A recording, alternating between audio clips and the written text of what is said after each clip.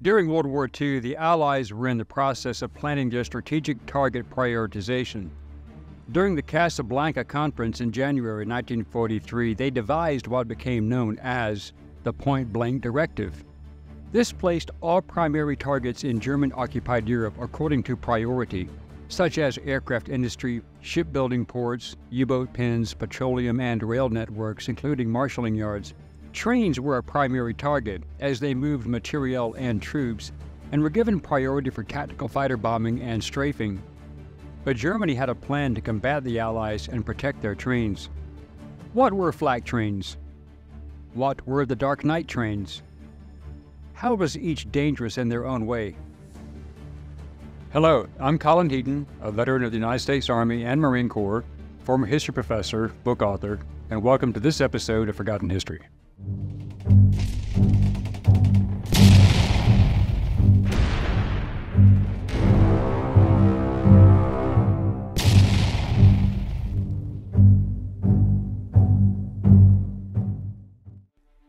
Long before American fighters could reach deep into German held territory, coastal targets and those just inside France, Belgium, and Holland were able to be reached. From August 1942 until the end of the war, Railways, marshalling yards, and trains were always favorite targets for fighter and bomber pilots. Fighter pilots destroyed a lot of German rail traffic, and this, in fact, was one of the most effective tactical methods employed by the U.S. Army Air Forces and the RAF. But the Germans adapted, and they decided that a retaliatory application was needed, so they created flak trains. These were locomotives that pulled what appeared to be standard railway cars, but with a twist. German rail fell under the authority of the Reichsbahn and its director, Julius Dorpmüller. Due to the large numbers of trains that were being damaged and destroyed by tactical bombing and strafing throughout occupied Europe. But after the beginning of 1944, the losses were becoming unbearable, so the Wehrmacht created flak trains in response. These German flak units were organized from the division level downward, such as flak division, flak regiment, flak battalion, down to flak batteries. It was the individual anti-aircraft battery that would be assigned to an individual train, and all flak units were under the Air Ministry, but subordinated to the Reichsbahn director until 1944. That was when Reichsmarshal Hermann Goering took that authority for himself to bolster the Kammhuber line defenses. The Kammhuber line, developed by Field Marshal Josef Kammhuber for inclusion into the German home defense strategy, included several miles of defensive anti-aircraft placed in depth and strategically located, which included searchlights and various radar locations. This defensive plan was created to work in conjunction with the German Night Fighter Force, created and commanded by Colonel Wolfgang Falck throughout the war, until Kammhuber was sent to Norway to command Luftflotte 5. Trains were a favorite target for armed tactical reconnaissance missions. Allied fighter pilots found them rather easy targets when using guns and rockets. As they were a primary target, any train, let alone trucks or vehicles traveling on roads in daylight, were vulnerable. However, in adapting to the threat, the Germans changed their tactics and quickly made strafing them more challenging and dangerous affair.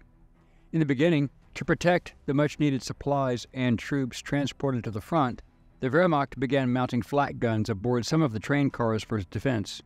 Usually, every fourth or fifth car in a long train would have anti aircraft guns. But this was later changed so that the car directly behind the locomotive and the last car would be flak cars as well, with at least one more in the center, if not a few others, spaced out to provide an even more firepower and coverage scenario. Both 20mm and 37mm flak guns became the standard weapons aboard German trains due to their range and rapid fire capability.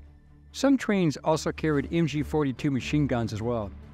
On trains carrying high valued commodities such as fuel, coal, ammunition, or soldiers, an additional gun car would be placed in front of the locomotive as well. The general tactic for Allied pilots was to destroy the locomotive first, stopping the train. Then, the remaining rail cars would then be strafed or hit with bombs or rockets. Once stopped, attacking a train on the flank with rockets was preferred, as that made for a wider target with a greater chance of every rocket hitting home. Then the strafing with machine guns or cannons would normally be done running the length of the train from front to back or vice versa to inflict as much additional damage as possible. Many of the early flak train cars were flatbeds, exposed to the elements, allowing for clear fields of view, Any alert of an enemy fighter would allow the gun crews to rapidly rotate their weapons and acquire the incoming target. But the Allied pilots also adapted, and when they saw the open flatbed cars with guns, they would attack them first, then disable the locomotive once the defensive fire had been neutralized. But as one may expect, the Germans decided to adapt and camouflage their flat cars by installing their weapons in regular boxcars with four walls but no roof. These resembled coal carriers, a nice target, but with a sneaky catch. These special cars could immediately drop the sides to expose the guns once enemy aircraft were detected. Some even had removable roofs that could be thrown open like a cardboard box and increase concealment and enhance the ambush method. The mobile flak protection did catch Allied pilots off guard, and many American and British pilots would find themselves taking a lot of ground fire as they attacked, many being killed or captured as a result. On March 12, 1945, for example, 404th Fighter Group 9th Air Force Commanding Officer Colonel Leo Moon got a rude awakening when he attempted to rocket and strafe two trains. As he said, I first saw a train with a number of cars on it and fired my four rockets into it, damaging the locomotive and setting two tank cars on fire. Then I saw a plume of smoke some distance away and fired my guns at the base of it. As I got nearer, I saw that the smoke was coming out of a short tunnel and a train was protruding from the other end. So I swung around to make an attack on it. I saw a little red ball flash past my wing and I wondered what that was. I soon found out. I saw some smoke coming from up in the middle of the train and thought that it was a funny place for a train to be smoking. I suddenly realized it was gun smoke from a flak car banging away at me. I had already committed myself, however, and I banked around and sprayed the cars and pulled up into the overcast. The flak sounded like hail on a tin roof as it hit my plane. My brake was shot out, and there was just a hole in my wing where my pitot tube had been. Moon was one of the lucky ones, and his rugged P 47 Thunderbolt only took a few 20mm hits in the left wing. Had a more experienced gun crew been involved, without a P 47 bearing down on them, it would more than likely have adjusted their fire and brought this aircraft down. The 404th Fighter Group ground crews repaired this damaged aircraft and it was back in the air within a few days. But the Germans also had dedicated trains that were nothing but flak trains, where every boxcar carried flak guns and many carried the very lethal 88 millimeter, which was devastating. These trains rolled around Europe, being vectored to locations by radar and pilots, when a large enemy formation of bombers, whether British at night or Americans by day, the trains would follow the bomber formation, supporting the fixed stationary flak units surrounding cities, industrial facilities, and marshalling yards. These special dedicated flak trains were also used as mobile support in areas that did not have their own permanent anti-aircraft capabilities. According to Josef Kammhuber, whom I interviewed and knew, he stated, these trains with flak support were almost the only protection our railways had from aerial destruction. Yes, they were effective, but we did not have enough of them, so they were just far too little coming much too late.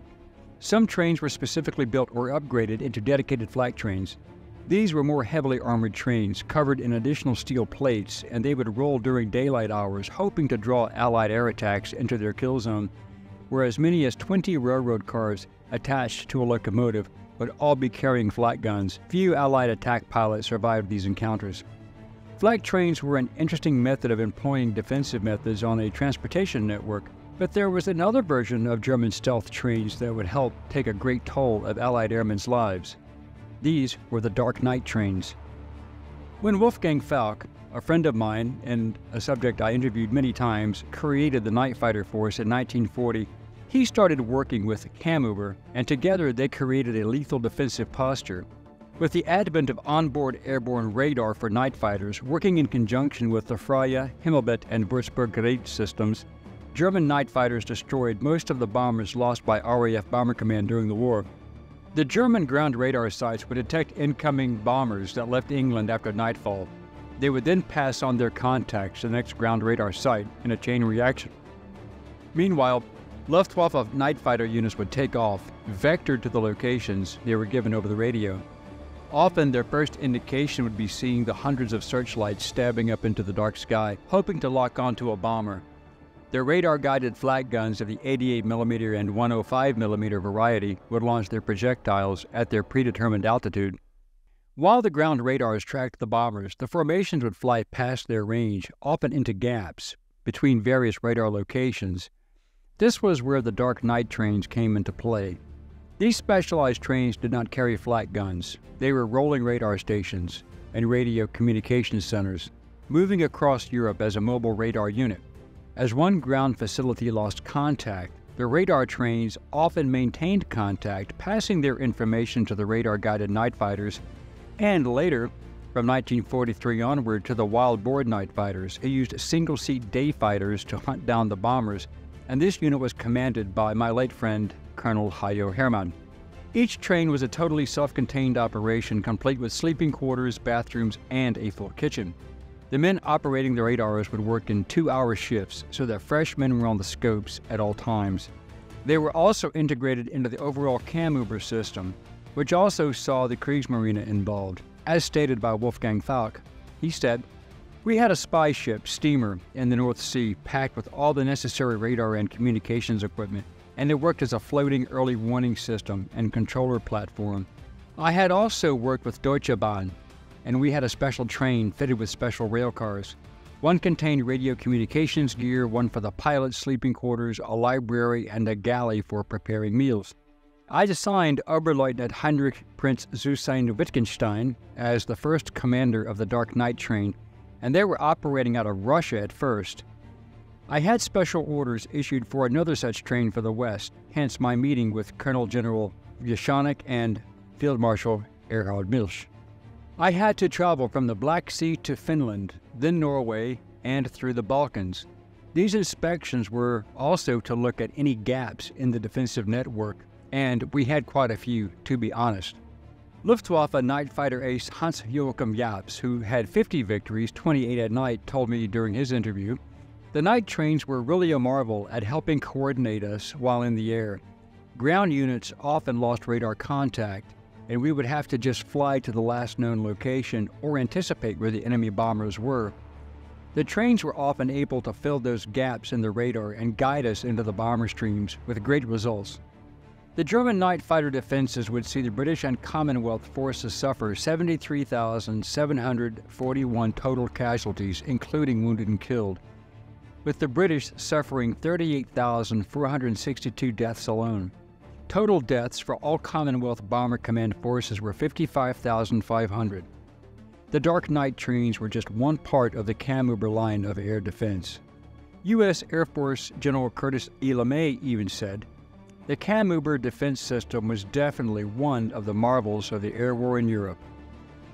Thank you for watching Forgotten History. Please click like, subscribe, and share. Send us comments and show ideas, and we will get back to you as soon as possible. Until next time.